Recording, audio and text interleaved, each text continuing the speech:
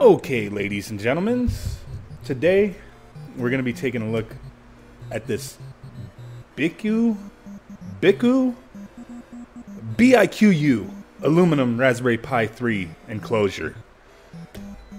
Essentially, this is the main competitor to the Flirc case. A little bit cheaper than the Flirc case. A lot of people have recommended this to me over the Flirc case. There's a you know extra little feature with this one. We're gonna take a look. If I were to be honest, right now my favorite case that's not a custom case would be the Flirc case. So we're gonna see does this little fella take the crown? Let's check her out.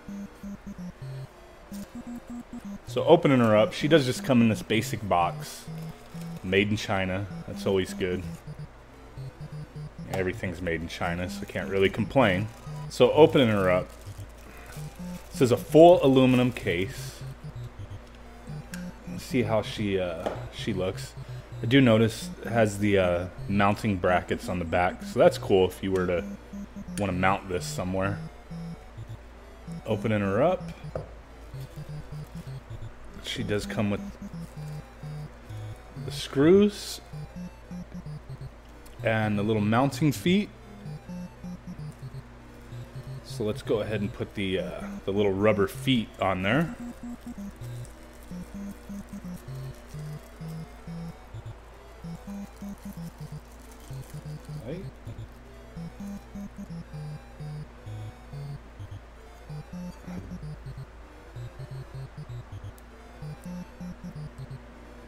Standard rubber attachments, pretty similar to the ones that come with the uh,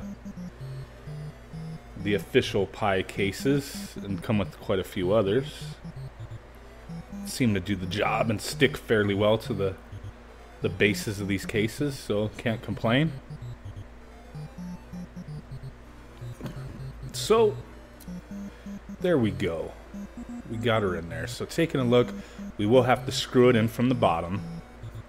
So let's see how it fits.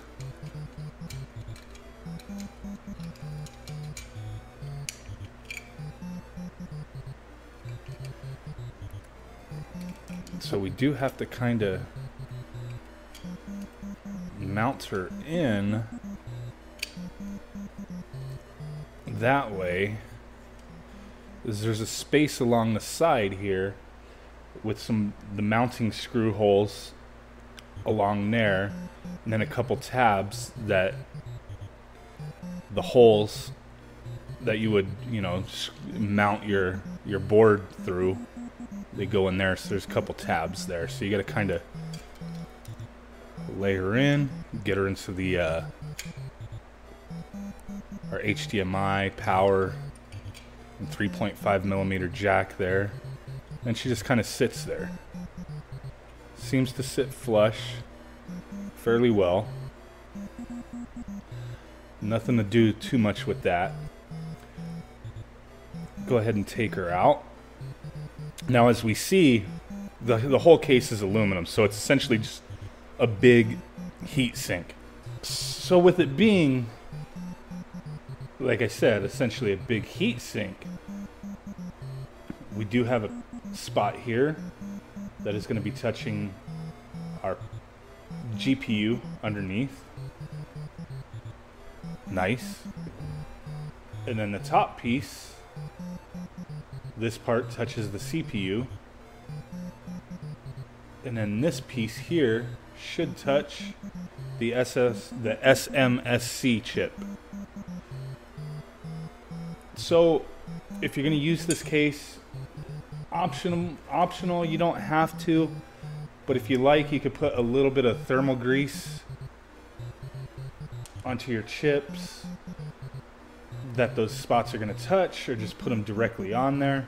Since they're not exactly shaped perfectly to these guys, I would just put a little dab on each spot if you're going to do that. Like I said, you don't have to but it is an option. Most people will use a little bit. This set did not come with thermal grease. Sometimes these kind of cases do. Mine did not. But before we get into all that, I just want to do one quick test and see if we can get our tinker board to fit in there. Now the tinker board essentially, and I will have a another video about the tinker board at a later date.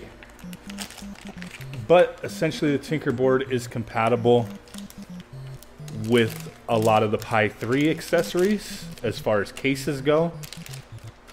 This case I'm not 100% on because our chipsets are going to be you know shaped differently and partially in different locations.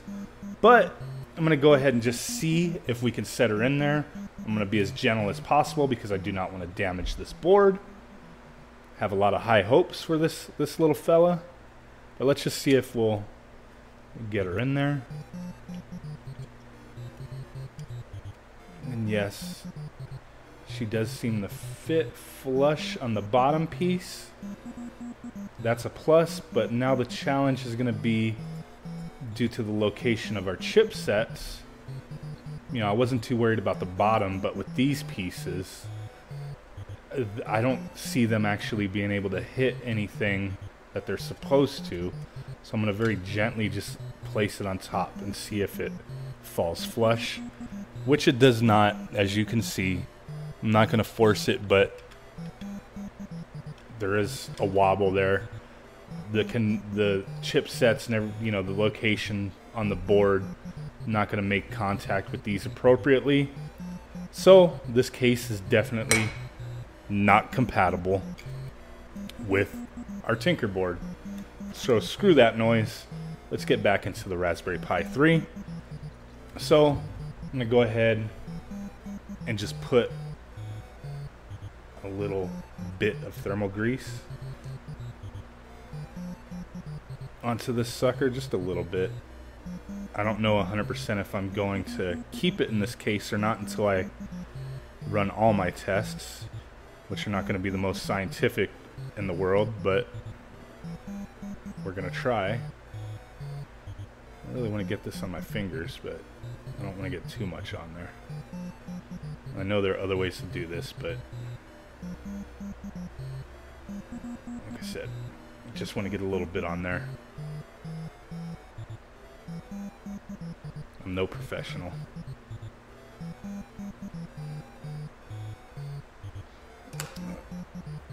Just a little bit. And we'll go ahead and put her in there. And I will be doing some not the most scientific tests, but I will report on what I see as far as temperatures go. What I'm going to do, now that I got her sitting in there, go ahead and screw her in. Get the little screwing action in there, make sure the threading is all good.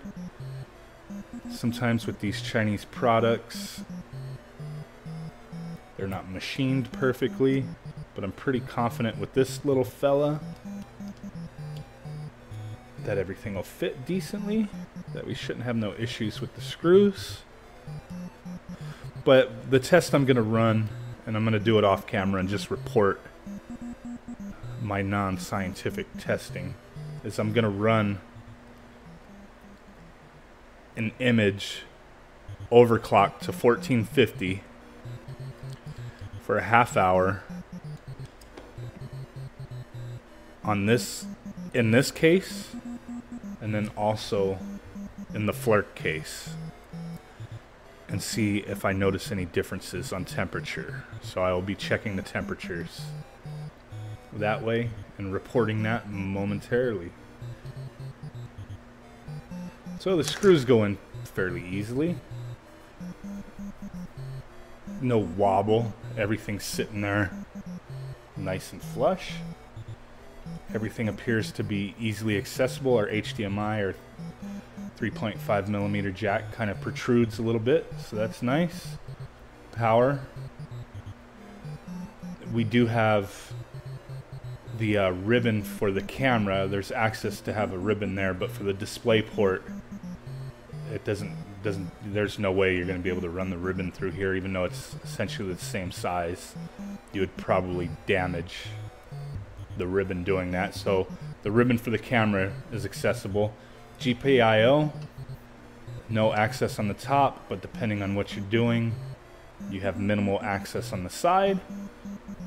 So I'm going to have to ask you little fellas to move out of the way for a moment. Move, move. You guys stay. You're all right. What I want to do is just make sure all of our ports are accessible, that everything's machined properly and fits. HDMI fits snugly. Perfect. Power supply. Good. That's all gravy. Let me plug in USB. Uh, everything that's obviously accessible. So no issues there. Now, the ultimate test, these out of the way, is obviously the most important thing besides the cooling features of this case is can we easily insert and remove a micro SD card?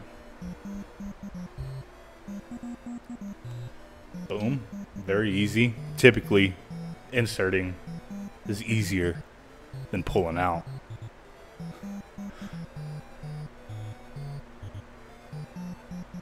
Boom. This little fella, all you really got to do is kind of grasp this, the card that way, and you're good to go. Very easy access. A lot of these case cases are frustrating, annoying. As an example, my number one case at the moment, besides any custom cases that I have, is the Flirc case. And with this little fella, I have to scratch the card out, and I don't like that. That's the biggest flaw of this case. Very pain in the butt to do. Oh. So, definitely this BIQU, Biku, or whatever it's called, case gets bonus points for that. That's a definite plus. Now, looking at the case, she has got a little bit of heft to her. A bit, I'd say a little bit heavier than the Flirc case, as this guy is fully aluminum. You have no branding or logos etched into the, the case whatsoever, so a very plain case. No big issue there. Some people don't like having logos on their cases. Me, it just depends. As long as it's not obnoxious, I don't really care. So, no points added or subtracted for that. Doesn't really matter to me. She does look nice, though. I don't see any machining imperfections on her. So, with that said, I'm going to go ahead and run my tests, my unscientific tests on temperature. I'm going to run both this guy and this guy with the same image for about a half hour each, overclocked to 1450, and see what my temperature differences are. Like I said, results may vary. I'm not doing the most scientific test, but I'm going to check her out. So let's take a look. Okay, so back from my extensive non scientific testing, I have to say as far as the cooling of both of these cases go, they are in fact fairly equal. You know, plus or minus maybe a couple degrees Celsius. Uh, my averages after looking at both of these guys, pretty much identical for the CPU cooling. Like I said, you do get the uh, the bonus of the, the GPU and the SS. Or, I always say that the SMSC chip. So that's a definite plus.